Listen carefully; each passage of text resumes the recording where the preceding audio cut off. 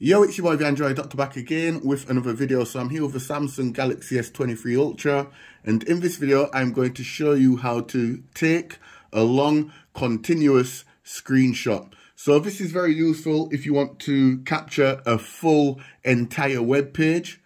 So let's just say you're on Amazon UK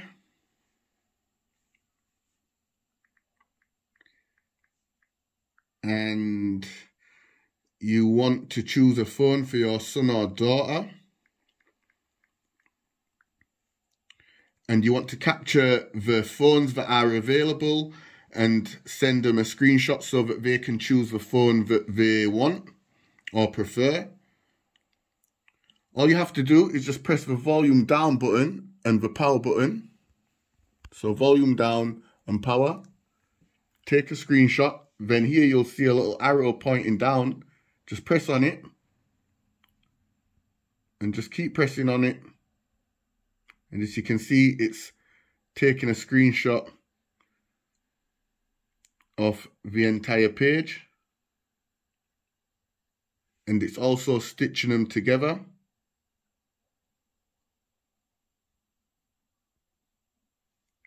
And when you're ready, when you're finished, just simply stop, go back, and the screenshot will be saved automatically in the gallery. So here it is.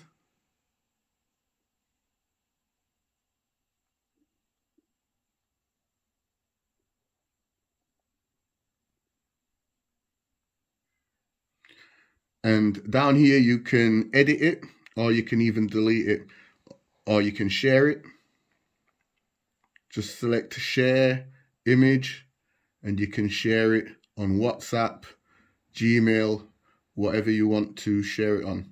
It's that simple.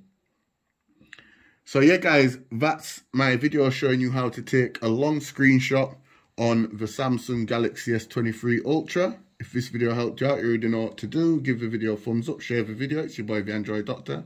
And I will see you in the next one. I'm out. Doses.